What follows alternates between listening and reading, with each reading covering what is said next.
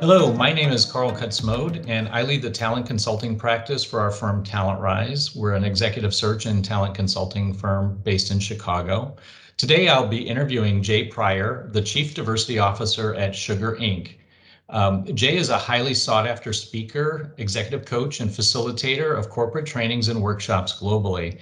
Jay identifies as they, and they are a transgender and gender nonconforming advocate and educator for inclusivity and gender consciousness. Jay's also the author of the acclaimed book, Lean Inside Seven Steps to Personal Power, a practical guide to transformation for women. My goal in the next 20 to 30 minutes is to really open up uh, a discussion around a rather sensitive conversation that's happening in the workplace today. And hopefully we'll get some answers to the questions many HR leaders and their employees would, you know, want to ask regarding um, the why behind the they and the evolution of gender nonconforming culture in the workplace. So that said, I'd like to get our conversation kicked off. And uh, Jay, I'd like to just kind of have you share a little bit about your personal journey and what inspired you to, you know, do the work that you do today, which is so much needed. Thank you. First of all, Carl, just thanks for having me and thanks for being willing to dive into this uh, conversation. It's not always comfortable for people. So um, the fact that you're willing to take this on um, just is important to me and important to the world right now. So thank you for that and giving me this opportunity to be here. Um, I uh, was assigned female at birth. I was born way back in the day in 1966. Um, and uh, they looked at my genitals and they called me Janet and said it's a girl. And uh, I, you know, things were fine for a long time. I was a tomboy. And, um, you know, I was out there playing football and wrestling and fighting and doing all the things in a small town in Kansas that we do. I never wore a shirt or shoes. like I just, um, I had a blast, and uh, until about sixth grade. And in sixth grade, my experience was that all my friends came back as different people. They came back like aliens to sixth grade. Before the summer before, they had their shirts off and were playing football with me. And then all of a sudden, they came to school and they were carrying purses and wearing makeup and all of them were talking about boys all the time. And when do you when you start your period because that's when you become a woman. And all this whole conversation that for me felt completely alien. Like it was like what happened? What wow. happened? We weren't having this conversation before so to add insult to injury, at that time, that year, in my sixth grade, my mom decided it was time for me to get a training bra because apparently these things need to be trained. And um, I find myself standing in J.C. Penney, spread eagle, getting a bra strapped around me, and I was mortified. I was humiliated. I felt so stupid, and I didn't know what was going on. It just felt completely clueless to me. And it really started a conversation for me at that moment or at that time that something was wrong with me Mm. And that clearly something was wrong with me because I wasn't like any of the other kids around me. There was nobody that was on TV. There was nobody in my world that was like me. There was clearly something wrong with me. So, the long story short, when I was 14 years old, 13 or 14, um, I kissed a girl, had that experience, and I was a girl. So, that was also in one moment, it was liberating because I had this oh, that's what's wrong with me, right? It was like, oh, I'm gay. And literally the next breath, Carl was like, I'm gay. Like, I can't be gay. Right? That is not going to work here. Right? Yeah. I'm in a small town of 500 people, all white, all Christian, and my dad's the mayor. This is not going to work here. so, uh, unfortunately, that sent me on a really pretty intense uh, suicidal ideation and uh, a lot of excessive alcohol abuse. Um, my junior year of high school, I drove my parents' car 100 miles an hour down a country road, and I flipped it with an intention to kill myself.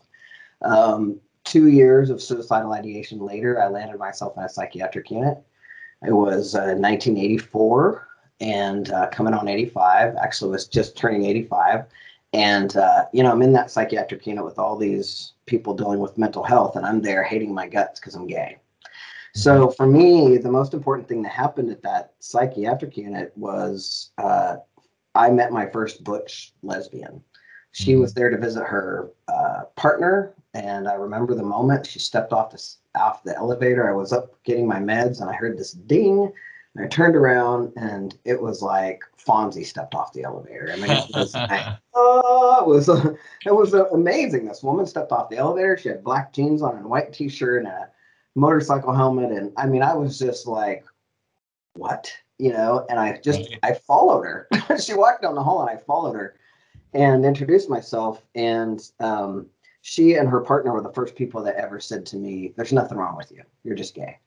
Yeah. And for me, that was a game changer because I, in my world, I was a sexual deviant. I was going to hell. There was all these things that were definitely wrong with me. Mhm. Um, and so that was when I came out in 1985. And uh, part of my care plan was that I wasn't allowed to move back to my small town uh, because there was nobody out there and it was kind of scary. And so I came out as a young butch, and being butch felt so good to me. And I and I came to my, this town in Lawrence, Kansas, and I walked into this bookstore, and the first thing somebody said to me was, "Hey, who's the new baby butch?" And I was home. It was like for the first time in my life, I belonged. they see somewhere. you. Finally, Right. somebody sees you. someone sees me for the first time in my life. Right. So I was, you know, living large. I mean, there weren't very many of us, but we'd get together. You know, I just I was I was out and I was happy and and um, I got the nickname Jay because I was pretty butch and I didn't look like a Janet. and so I got people started calling me Jay, and I loved that, right? And one day, this this femme that I thought was just so beautiful wrote me a note, and she wrote out J A Y, and I was like, "That's my name," you know. It was just like that feels so good to me, right? And so um, then in 1990, uh, my dad got really sick, and um, he was clearly on his way out. And I had a conversation with him and um, asked him if I, uh, you know, I felt like he was going to die. And he said, I'm worried about you. And I said, Why? and he said, Financially, you're going to be on your own. I was only 23 years old. And uh, I'm the youngest of nine kids. So he had taken care of all nine of us up till that point, and he was concerned Wow. about me. And I said, I can handle it. And he said, Then just get your education. I just want you to get your education. So I promised my dad on his deathbed I'd get my education. And when I went back to school, I'd never met anybody butch who'd had higher education in their lives. They were all blue collar workers. So I thought I had to fem up, right? So I grew my hair out. I got some tips from my sister on makeup. I donned a power suit and I changed my name back to janitor, started going back to Janet and went to college. And it was in college that I got into activism and learning that by sharing my story as a suicidal youth, I could make a difference for other youth, right? The people that were dealing with this, that I could I could actually make a difference. And that's when I started having this passion for not having, excuse me, not having uh, youth have to go through what I went through, right? Like if I could make it, if I could make that difference just by sharing my story and being out. So I did that all through college, and towards the end of college, um, to make a long story short, I went to a conference. I met a woman there who um, basically asked me like, "Why'd you grow your hair out and wearing makeup? What do you, you know, that's not who you are." And I said, well, I thought I had to. I mean, even at the time, k.d. lang, you know, never went anywhere without her puff, you know, shoulder sleeves and her eyeliner. You know, you're like, and I'm pretty sure she's not wearing that at home. You know, Exactly. so it felt like you kind of had to do that to to be okay in society, right? Yeah. And this woman just said to me, "It's not who you are," and she sent me a book called Stone Butch Blues, which is Ah, a beautiful book if you haven't read it. It's and it's free. Uh, when the author Leslie Feinberg uh, died, their partner uh, Minnie Bruce Pratt made it available for free as a PDF. So, bottom line though, I read that book and I realized that once again I wasn't being authentic with myself. And that I also realized I'm not the only one out there. I was Yeah. like, oh, once again, I'm home. Like I see these, I'm seen, right? And so that's when I say I started my transition. I threw out all my girl clothes and I, you know, just the only girl clothes on was a frog bra that kept my breasts really bound tight because we didn't have binders back then in 1998. And so um, that's when I started my transition. When I started my transition, and I swore I wasn't going to ever take testosterone or go ahead and transition because for me, I was very woman identified and I didn't want to be a man. I was always felt like I was kind of either or or neither. And um, so in 2001, I took testosterone. And if you don't know this, that when a female bodied human takes testosterone, it completely shifts their body fat. It completely, everything turns male. Like, Oh yeah. I mean, I had a thick beard and like hair all over me. And I mean, I was very, very, very butch, very masculine. And I thought that I could be out as a genderqueer, a trans person, but the reality is I was full on male, and that's what people saw, and that's what they related to, which is part of why I uh, do a lot of coaching exclusively for women because I also got to see the difference in how I was treated as a butch dyke versus a white man. Um, it was night and day. Like how I, the respect I got, the yes sirs I got, the always discerning. All of that was mind blowing to me. I was just like, whoa. Um, so, you know, I lived uh, what I call as an undercover white guy for 18 years. And after 18 years of being uh, that entitled and having that much privilege, it kind of seeks starts to seep into you. And I felt like I was starting to become the thing that I never wanted to be in the first place. And then the the Me Too movement happened with uh, in 2017, and that reminded me that I was very woman identified at some point. And so I went off testosterone in 2018. Uh-huh. I have my full female body back now, except for my beard and my hairline. Otherwise, everything is female. Everyone sees what they see, so they see me as male.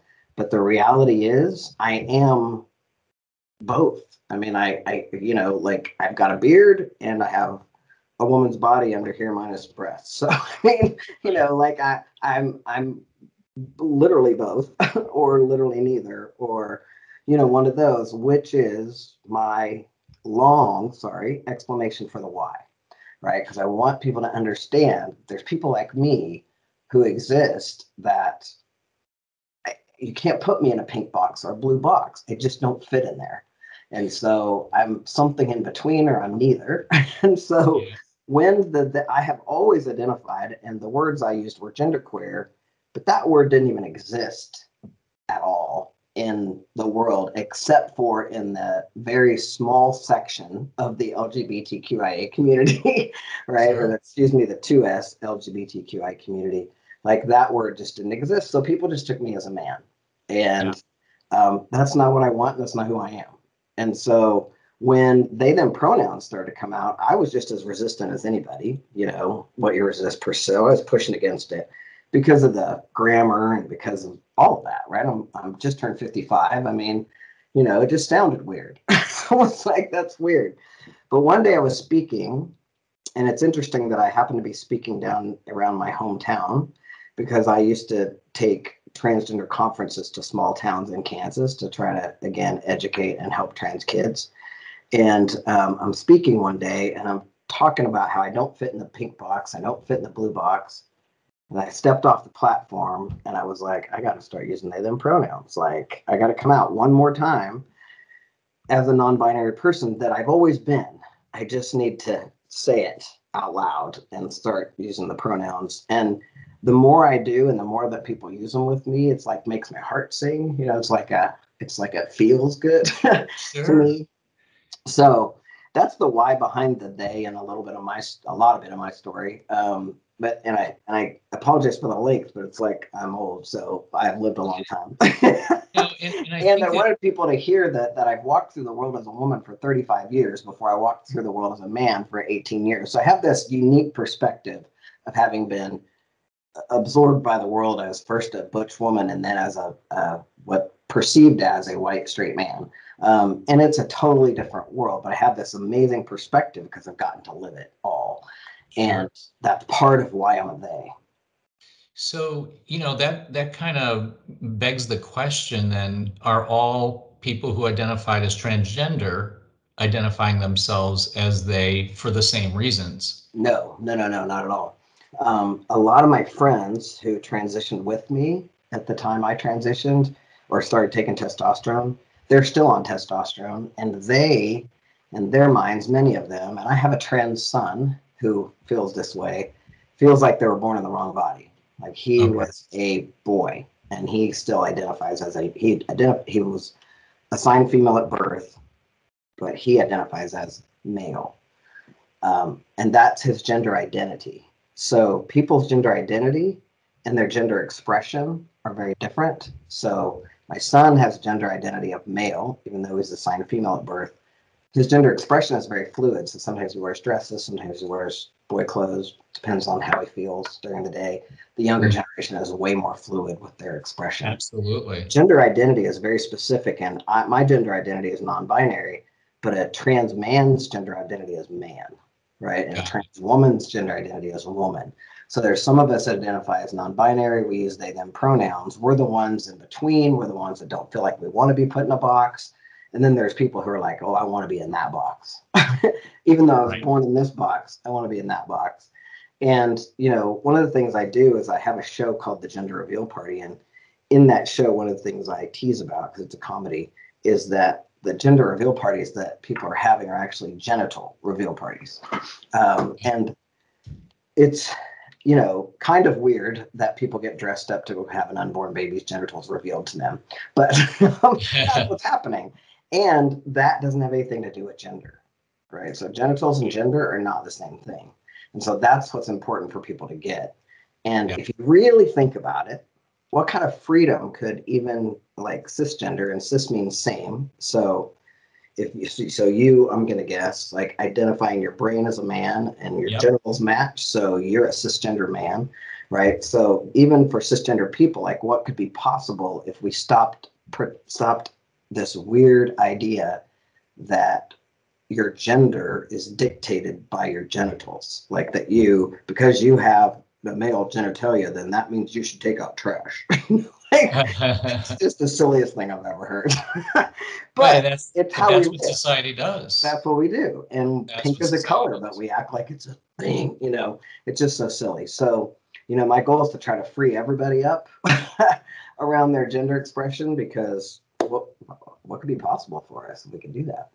Well, and, and this really kind of puts things in perspective, you know, when you frame it in that way that it- your genital identity is not your gender identity. absolutely I think that is where people get hung up. 100% You know, and and you know, in the in the wake of you know George Floyd and everything that's gone on, employers have put an emphasis on their DEI programs. Yeah. Um, to As to make should. sure that yeah, like they're doing you know what they're trying to do the right thing, absolutely. But they're you know they're asking these questions and they're getting these questions from their employees and you know so it it's this is really helpful. Um, i hope so. you know to help them understand you know what they need to do. So when you think about like their programming from a, a dei programming perspective is there anything you recommend an hr leader to do uh, differently than maybe what the standard programming is out there to make sure that people who identified as they are included and not just bucketed into lgbtq you know Yeah. Absolutely. First of all, there's just resources. Um, my good friend Rhodes Perry uh, has a book called Belonging in the Workplace, and it's brilliant. I recommend every HR director read that. Um, but also, you know, part of it is incorporating the they them pronouns until it's normal. so, but what that takes is changing a neural pattern. So if you mm. think about the the any trying anything new, when you start anything new, it's awkward, right? It feels Yes. weird, but not any weirder than when you pick up a new musical instrument and try to play it. Have you ever tried to pick up a clarinet and play it? I mean, you're terrible at it. You sound horrible, right? I mean, you've and you have to be willing to make mistakes and to be bad at it. And you know, you can't get good at anything if you're just going to say, "Well, I quit," right? right? And I have people do that. They'll say, "Jay, I just can't get these. I just can't call you. I just got. to I got to use you." You know, and I'm like, "Well, you're not. Then you're. If you're not willing, right, to push through the uncomfortableness, then you can't do it." So one of the things that HR directors can do is they can start that they them conversation and have their employees practice um, using they them pronouns. Obviously, you know, you want to bring in some training. We can do that, but you can do this on your own where you can have people start to practice. You can have it become a conversation that people are committed to, and uh, have it be part of the value that we but we include everyone, and we want everyone to feel like they belong. There's a big difference between inclusion and belonging. You can include me, but that doesn't mean I feel like I belong. Exactly. and so- the other thing is to like for the whole company to start ungendering language all around the way, right? So to mm-hmm. give up ladies and gentlemen, you know, when I sit and hear a speaker say, ladies and gentlemen, first thing I think of is, where am I going? Who you talk? Or am I ta- Are you talking to me? Right. I'm in the room, and so you know, and I like I say, I'm 55 years old, and I've been through a lot of stuff, right, to come out. But these younger kids that are coming out and coming into the workforce, who are brilliant and creative, and you want them to work for you, right? They're not willing to be uh, feel uncomfortable at work. And so they will find other things to do or they'll find places to work who actually will do this. So i really think that um, companies are going to see a need for this conversation to be included as part of any kind of you know personal development professional development work they do with their staff. It's just got to be included in there Well, and and you brought up some good points about the younger generation coming into the workplace and their expectations. Um, and, and that kind of is some of the other side of the coin is in an employer's efforts to be inclusive and to, you know, do the right thing.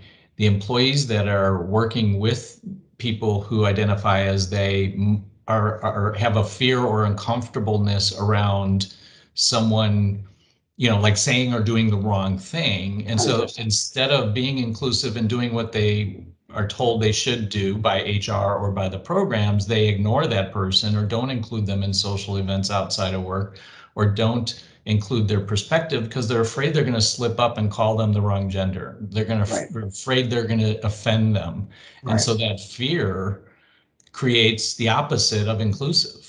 And Right. and we hear this when I'm talking with with people that it's like I rather than be, you know, offend somebody, I'd rather just not do it, you know, or Right. not involve them. Right. Yeah. And so, I mean, there has to at some point become a willingness again to push through that uncomfortableness.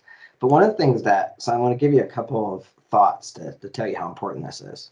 What we know statistically is for a transgender youth or a non binary youth, by calling them the right pronoun or using the right name with them, you decrease suicidal ideation by 50%. Wow. So you are you are 50% more likely to see that kid alive if you just affirm them. And who doesn't want to be affirmed, right? I mean, don't all of us just, you know, this is our name. You don't want to get somebody's name wrong. So it's like what what you're doing is a limit is giving this person an opportunity to be alive and thrive in your culture as opposed to hiding, leaving, going somewhere else. Now I know it can be uncomfortable for folks, but if you can push through and just act like it's not, I mean, one of the things that's important to us is that we you not make a big deal out of it, right? So if you misgender me or you misname me, preferably the the misgendering is a little bit less than dead naming. So that's called dead naming. If you were to call me Janet, that would be calling me by my dead name. Um, that's a little more intense than just missing my my gender because I know that I look male. So that's you know it's like hard sometimes for people to see male and switch that up. sure. Um, but if you can just say, "Gosh, I'm sorry, I'll keep working on that," you know, and just move on. You know, I mean, it's not a thing. it's really not a thing. There's so much more to us than just our our gender, right? Our gender identity is just a tiny little sliver of the pie. I'm a bike rider. I'm a singer. I am an author. I'm a speaker. I'm a Maddie, which is a mom daddy. I'm a husband to my wife. You know, like I'm all I'm a sibling. Like I'm all these things, and my gender identity is like this big a slice of who I am. Yeah. And if that's what you're going to focus on in the workplace, then yeah, you're probably going to miss out on the rest of me. Um, and so if we can push through that, just if just like make it not a thing. Like it's just I just just and all that's happening is you're training yourself, just like learning to you know ride a bike or lo- you know do something physical or play an instrument. Anything you've ever done that's new is going to feel awkward at first.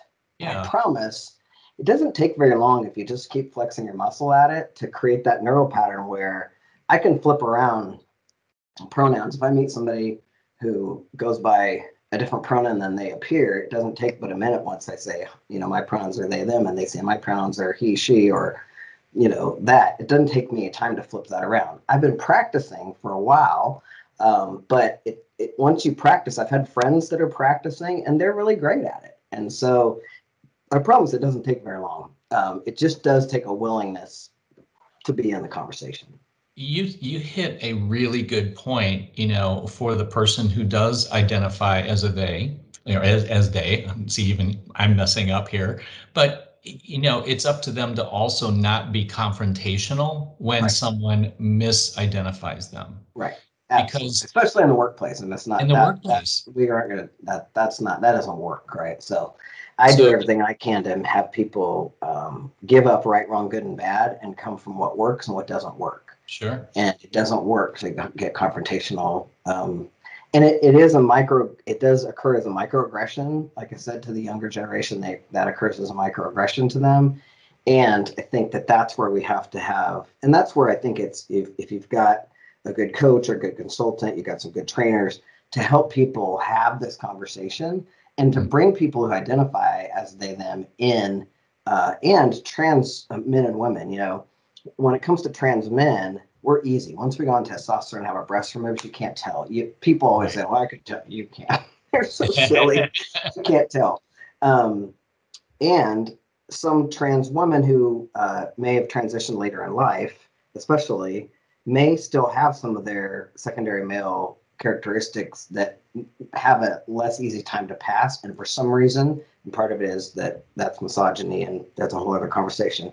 But it makes people very uncomfortable. Right. And so, you know, you if companies will bring us in, right, and have us be with them, and so that people see that we don't have horns and that we're just like everybody else, and you know, we just want to be treated with respect. And Right. then, and then again, you're right. It's on the us to like let people learn, right? That's I've always been in that conversation. Like my commitment is to love the transphobia out of human beings and to share myself in a way that has you know me so that then you can say you know somebody right back in the day it was you know a lesbian i used to say well now you know a lesbian um, but now you know now you know a non- non-binary person right and once you Sure. get to know me it's a lot easier to say jay they you know right they because you it just becomes easier because i now i'm known and i think that is one of the big keys in companies that we have to get is that we have to get employees to be known by the other. Yeah, I think, you know, what I'm hearing overall is it's you're learning, we all are learning a new language Absolutely. and we're taking our base language and we're modifying it for the, for the times, you know, Yeah. for this Yeah. evolution in our culture. Yeah. And, you know, that goes cross borders and cultures across the world. I mean, it's going to be a long journey for, you know, people who speak French to incorporate it into theirs because they have the whole feminine masculine Right. articles. Spanish is the same thing. Yeah. Yeah. you know so it's it's going to get pretty complicated It uh, you know as it goes but at least if people have the framing of this is a new language if in like anything with practice it gets comfortable and it will be part of the norm and i think the the you know another area that people have have struggled with is just in the context of languages they means plural Mhm. he, him, she, her mean singular. And so they're, they're trying to draw, you know, like my brain is wired that that means there's multiple people here. You're not a multiple personality, but I only see one person. So the brain's not wired that way. Right. So when somebody leaves their jacket behind, what do you say? What, I'm sorry, I missed that. So somebody left the jacket in the meeting and you find it. What do you say? Whose jacket is this? Or No. somebody left Somebody, Their- left Their their jacket. jacket. Their jacket. You say their jacket. which is a one, singular, correct? Right. So we've been using the singular they forever. People ah. now, some people are frustrated by this, but most people don't say, "Hey, who left his or her jacket?" Nobody's doing that. that's a great point. we have been using the singular they for an eternity, right? and Yeah. and now all of a sudden, well, it's grammatically incorrect. Well, it, it, so the singular they has been out there. Uh, the dictionary's already incorporated it into our, uh, you know, it's already in our lexicon, right? It's already happening. Um, so it's already out there. And you know, I if you want to think of me as two people, I don't have a problem with that. One of the things that we educate on is the we're starting to use the two S instead of the eh, the two S LGBTQIA, and two S stands for two spirited. which I don't identify as a two spirited human because I'm not an indigenous person, and that would be culture stealing. But people who are indigenous people have had two spirited people in their tribes again for an eternity. Okay. So these are people, these are people who have been born in their tribes and accepted, and they identify as two spirited, which means they have the spirit of both male and female. Right. And I love that. I think that's beautiful again, not going to steal it. I'm too white for that. However, if you want to think of me as two people, I don't care. Whatever works for you, right? Yeah. Whatever works for you. The other thing that, um, you know, because we could get into a whole long conversation about this and we don't have time, but, you know, 1.7% of the population is born intersex. Mm-hmm. Now, that seems like maybe a small number of people, but the, the exact same number of people who have red hair. Wow. Right. How many gingers do you know? Quite a few, right? Yeah. yeah. Same amount of people are born intersex. Now, intersex people have over 30 different variations on either their chromosomal expression or genital expression. So, the way it works in some states now, thank you, California, who has banned surgeries on intersex babies. But the way it works is you cut them up and you put them in a box. And then and the doctor makes a decision with the parents or just makes a decision. Based on a ruler. Right. I'm not kidding about that. It's based yeah. on a ruler. And so the trauma that these people experience later when they have come aware of these surgeries and the, the way the body responds, it's been horrible I've, I've had clients that have just been through horrible horrible experiences sometimes these surgeries leave them with an inability to feel sexual pleasure like there are so many things that these things do to people that is horrible, right? Horrible. And should not be tolerated. And so already you have this God made human that is born with maybe both ovaries and testes, who knows, but some mm-hmm. form of, diff- of variation, right? Sure. Of an intersexed human. So that person's a they when in terms of their their their like sex, like their genital, right? Their genital, their genital expression of their right. sexuality. Yeah. Right. Their gender, they may grow up and decide that they're all male or all female or all boy or all girl. You know what I mean? That still doesn't have anything to do with that. But my point is, we have to make room for these people so that we can't stop cutting them up and putting them in a box. Yes. Right? So this wave has got to come if we're going to be a nation or a world that includes all people that God made. right? Absolutely. So, I mean, that's just how it is. And so, um, you know, I don't have any control over intersex people, neither do you. Nobody does. Nobody and yet does. they keep coming. They're 1.7% of the population. So if there's not a they, where do they belong? Absolutely. I I think this has been an absolutely enlightening dialogue and thank you no, so much. Long to go, but there's a lot to say, Carl. I know. I'm sure we could talk for another hour. Um, I do have one final closing question, and this is final words for our HR leaders, you know, our clients and their employees who want to take the first step to being more inclusive in either their programs or their interactions with their gender nonconforming colleagues. So, what would be your your final words or, of advice? Well, speaking of just because of my experience working in companies, this has to come top down. So the first thing they have to do is get their CEO enrolled and get this to be a, a company-wide initiative. This isn't like, unfortunately, you know, hopefully the HR director has the ear of the CEO, but there has to be this has to come from top down. So, Absolutely. It, so you cannot have you know the lower level people trying to deal with this and then the top level ceos misgendering people and not using they them pronouns. So um, everybody has to get on board from day one. Yes. but also i would read the books do the work. There's so much out there. But the biggest thing i would recommend is get a mentor you know get help. Um, there's companies starting mentors programs all over the place.